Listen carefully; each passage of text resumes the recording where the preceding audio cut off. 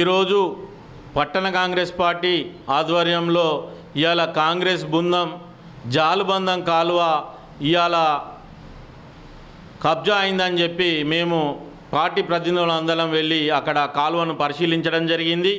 మరియు పరిశీలించడమే కాకుండా అక్కడ ఎస్సీ ఆఫీస్కు పోయి రిప్రజెంటేషన్ ఇవ్వడం జరిగింది. మేము గతంలో కూడా మేము రిప్రజెంటేషన్ ఇచ్చి ఎస్సీ గారికి డి గారికి ఎస్సీ గారికి ఈ గారికి అందరికీ ప్రతి ఒక్కరికి మేము మేము రిప్రజెంటేషన్ ఇచ్చినాము. ఈరోజు కూడా ప్రతి ఒక్కరికి రిప్రజెంటేషన్ పార్టీ నుండి ఇచ్చినాము.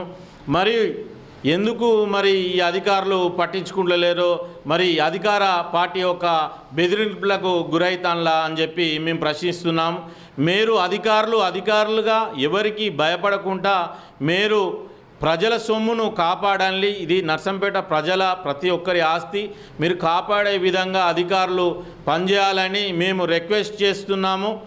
మేము అంతేకాకుండా ఈ స్థానికంగా ఉన్న మరి ఈ నాయకులకు ఎందుకు ఈ కబ్జాకోరులకు మరి నర్సంపేట ఎమ్మెల్యే గారు కొమ్ముగాస్తున్నారో అర్థం కావడం లేదు. ఈ రియల్ ఎస్టేట్లుగా వ్యవహరిస్తున్న ఈ కబ్జాకోరులకు మరి మీరు ఇగనన్నా స్వస్తి చెప్పండి. ఎందుకంటే నర్సంపేట పట్టణం అనగానే రోజుకొక వార్తలో పేపర్ వచ్చే పేపర్ల వచ్చే పరిస్థితి ఉన్నది. ఇవాళ నయీం గ్యాంగ్ అని చెప్పి మీ మండలం మీ మండలం నల్లబెల్లి మండలంలో ఉన్న నల్లబెల్లి మండల టీఆర్ఎస్ ప్రెసిడెంటు ప్లస్ చంద్రపేట మండల అధ్యక్షుడు మీ అధ్యక్షుడే. మరి నర్సంపేట పట్టణంలో ఉన్న ఇవాళ వైస్ చైర్మన్ మీ యొక్క ప్రధాన అనుచరులు. వీళ్ళందరినీ ఎందుకు కొమ్ముగాస్తానులండి మీరు? ప్రజల సొమ్మును ఇవాళ దుర్వినియోగంగా ఇవాళ ప్రతి ఒక్క గ్రీన్ లైన్ల కానీ ఆక్రమించుకుంటాను మొత్తం మీరు గమనించండి మరి ప్రజలు కూడా గమనిస్తాను మరి ఎందుకు ఇట్లా చేస్తాను మీరు పట్టణంలో ఉన్న ప్రతి ఒక్క ప్రతి ఒక్క కాలువలను అయితేంది గ్రీన్ లైన్లు అయితేంది ఇప్పుడు జేలక్స్ సెంటర్లో ఉన్న మీ యొక్క జేలక్స్ సెంటర్లో అక్కడ కాలువ ఉన్నది.